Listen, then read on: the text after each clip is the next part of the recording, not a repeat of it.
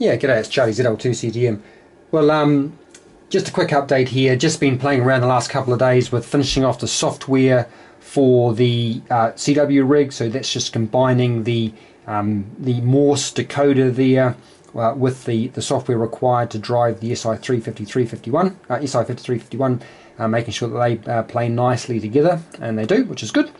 Uh, just finishing off there the um, the decoder to convert the 700 hertz uh, to a digital system for the um, for the Arduinos. That's all going now, uh, based on the 567 chip, uh, tuned for 700 hertz, uh, and then just playing around with the NE5534 and the LM380 based um, um, audio amplifier.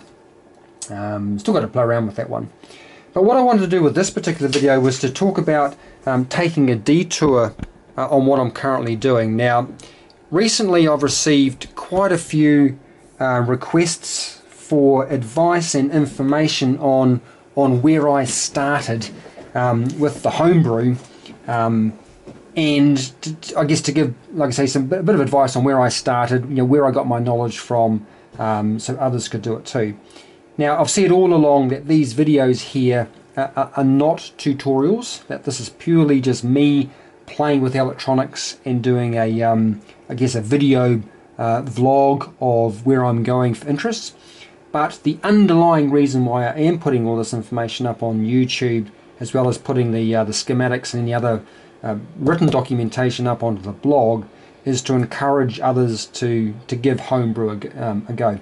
And I've said you know many times, uh, I'm no expert, and if I can do it, then really anybody can. So in keeping with with that um, idea and theme, I am going to take a detour, or it is my intent to take a detour from this radio to build a, uh, a rig that essentially I started with with way back. Um, if I go way way back, then yes, I, I played around with uh, crystal oscillators uh, and trying to get those to be uh, temperature stability, you know, yada yada yada. Um, but more recently, um, with actually starting to build um, transceivers where I started um, was the double sideband suppressed carrier um, transceiver. So that's what I intend to do uh, as a detour from this current project here. So like I say, double sideband suppressed carrier. Now I acknowledge um, that this is inefficient in regards to um, uh, space, that you are using twice the bandwidth needed. However, it does make for a very simple circuit and I would argue that as amateur radio operators here and, and encouraging people to, to build radios and to, and to play around that it's a great starting point. Um, so I think it's a good idea and, and that's what I'm going to do. So um, I've always got a, uh, a, a, a I like 80 meters so um, I can see it being at least 80 meters. Um, I think because I can, or we can make more the point, uh, plug in and plug out filters nice and easily. We might as well make it 40 meters as well, so 80 40 meters. Um, so, so the other aim is to use uh, so so it's accessible to as many people as I can. Um, is to try and make this using simple and readily available components. So just sort of quickly running through the block diagram um, and sort of talking briefly about that. Um, so the antenna system here coming in, uh, I might talk about that now. I've, I've also received some questions about what antennas am I using here and the setup. So um, seems like a good opportunity to fold into this particular build a talk about that. Um, I use here on the on the house um, half wave dipoles, but out in the bush uh, it's a uh, end-fed half wave, so um, either raw for this particular build, but we'll cover that off. Um, in terms of the, the RF amplifier coming in, uh, again, keep it nice and simple, 3904, uh, as opposed to, say, a J310, so we'll keep nice and easily and readily available parts for that. Uh, coming into the, uh, the mixer, um, what I'm thinking there is, um, yes, I could use, say, the SBL1, but I'm not going to. Um, I will I will put this into the basket of um, a little bit too difficult to get hold of um, and arguably not that cheap. So let's not do that. Um, so what I do intend to do is to uh, make up from scratch uh, a, a, diode ring mixer or you know, double balance mixer here. Um, yes, I could use uh, more appropriate components such as the, uh, the, the 1N60 or an OA91 uh, for the diodes. Oops, excuse me. Oopsie daisy. Um, but I think for, for simplicity and again in keeping with uh, you know readily available parts we use a, a 1N uh, 4148s and we'll go through the method I use here right or wrong um, for matching those or finding four that have very similar characteristics. Um, so we'll go through that. Uh, we'll use a couple of um, uh, FT37-43 uh, based transformers there with the trifilar windings. Um, so we'll go through all that. So that's what I'm thinking about for uh, the mixer. Uh, in terms of the, I'll come back to the, um, the local, local oscillator. In terms of the amplifier itself, uh, I can see that being two stages. Again, keeping things nice and simple. A 3904 uh, audio amplifier there as a, a pre-driver, and then a nice simple chip the LM386. Been around for donkey's years. Yes, um, it's got some noise issues, but hey, it's it's cheap.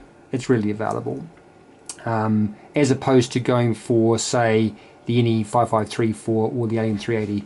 Equally easy to use, um, but I think for this particular one we'll go with the uh, the tried and proven and, like I say, readily available LM386 uh, into a small speaker.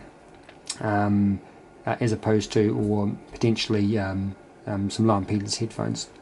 Now for the, the oscillator there, um, it, it, will because connect to the Wi-Fi network. Oops, Daisy. You might want to check the connection settings in the Google Home app. I'm not quite sure why she's talking to me. Never mind. I think for this one here, I I am going to class the uh, the SI 5351 is an easily obtainable part. Um, you can get these from all over the place now and you know they are cheap and uh, readily and easily available to get them off um, things like AliExpress so I'm going to stick with using that as opposed to um, uh, an analog based um, oscillator uh, of course have that driven with just a nice simple cheap uh, Arduino here. This is just one out of the junk box. I'm always use this as opposed to uh, one of the smaller form factors, you know, the Nano or, or the like. Um, so look to use that.